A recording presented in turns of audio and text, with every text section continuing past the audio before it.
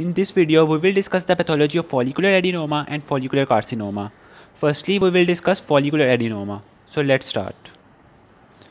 First of all, follicular adenoma is a benign neoplasm of thyroid. You know all adenomas are benign. Secondly, the question that comes into mind is that whether follicular adenoma is a risk factor for follicular carcinoma or not. The answer is that generally follicular adenomas are not forerunner of follicular carcinoma which means most of the follicular adenomas will not transform into follicular carcinoma. However, there is only a small subset of follicular adenomas that can transform into follicular carcinomas. However, generally, follicular adenomas do not progress into follicular carcinoma. So this was the important point which you needed to learn. Now, the second important question that is commonly asked about follicular adenoma is that whether it is toxic nodule or a non-toxic nodule. In the dictionary of thyroid gland, a toxic nodule is that nodule which produces a lot of thyroxine hormone, so it is considered toxic. And a non-toxic nodule is that which does not produce thyroxine hormone, therefore it is considered non-toxic. And as far as follicular adenomas are concerned, they are generally non-toxic, which means that they do not produce thyroxine hormone. So follicular adenomas are non-toxic nodules. Now let's come to the pathogenesis of follicular adenoma. As far as the pathogenesis is concerned, follicular adenoma can occur by one of these two pathways. Firstly, in cases of non-toxic adenomas, the mutations occur in the RAS PI3K AKT signaling pathway. This is one of the signaling pathway that signals the cell to proliferate.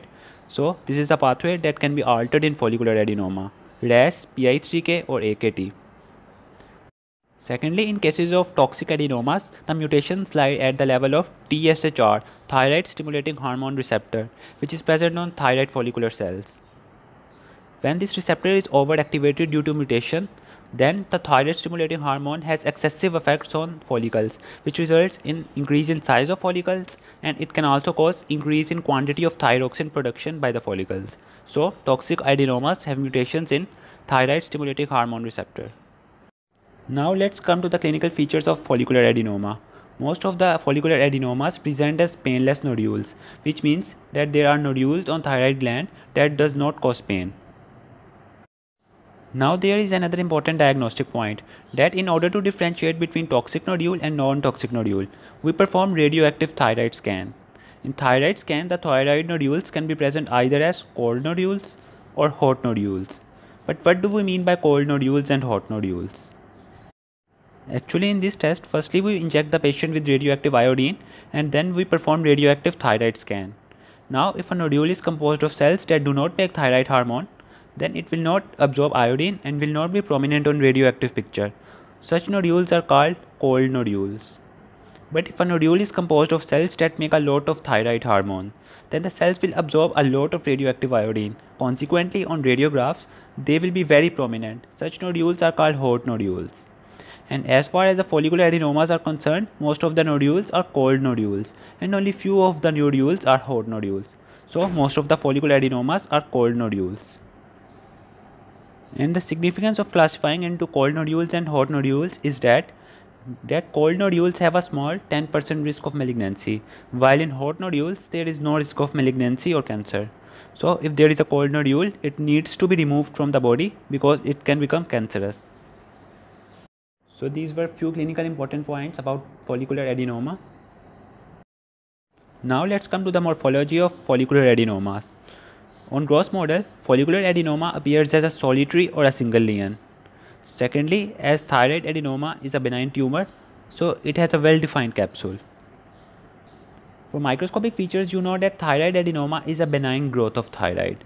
So the keywords to focus are also the same, benign growth of thyroid.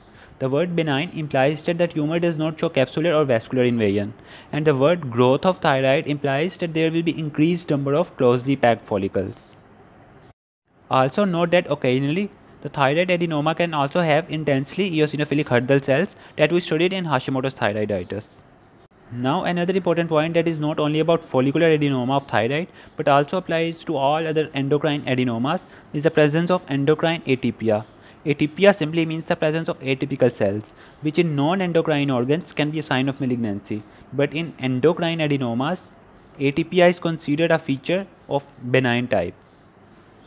So in follicular adenoma, even if there are some atypical cells, we will not label it as follicular carcinoma.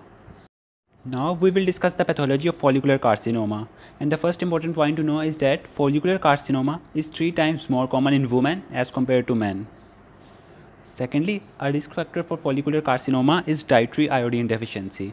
You know that dietary iodine deficiency is a risk factor for goiter and it is also a small risk factor for follicular carcinoma. Now let's come to the clinical features of follicular carcinomas. Like all other thyroid neoplasms, follicular carcinoma is painless and non-functioning.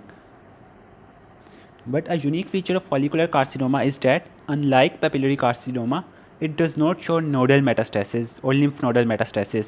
Rather, it causes hematogenous metastasis or hematogenous spread into liver, lungs and bone. So the point of difference is that papillary carcinoma does not show hematogenous invasion and shows lymph nodal metastasis.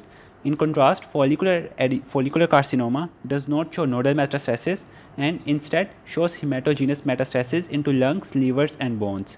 Therefore, follicular carcinoma has a much worse prognosis than papillary carcinoma because it is causing invasion or metastasis into other organs.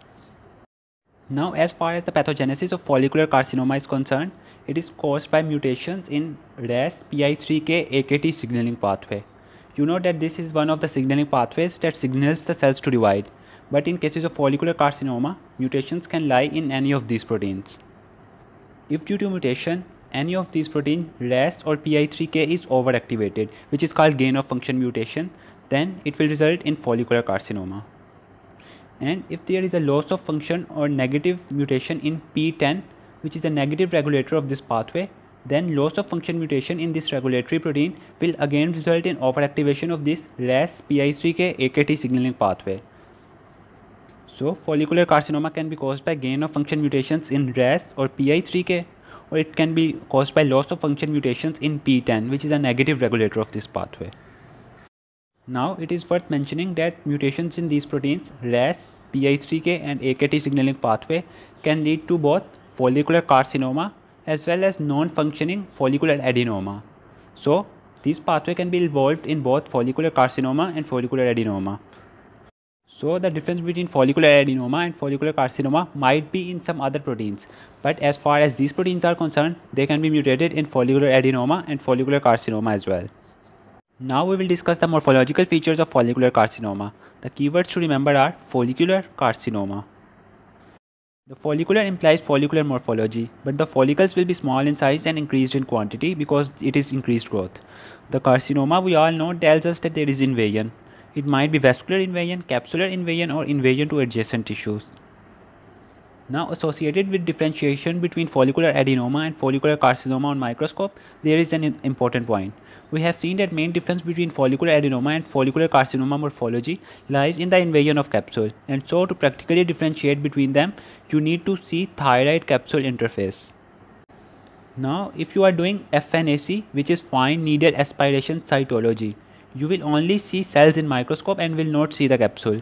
Hence you cannot tell whether it is an adenoma or carcinoma because to differentiate between an adenoma and carcinoma you need to see invasion of capsule. So this makes the differentiation between follicular adenoma and follicular carcinoma very difficult on cytological examinations. As a result, you can only differentiate between follicular adenoma and follicular carcinoma when the nodule has been excised out of the body.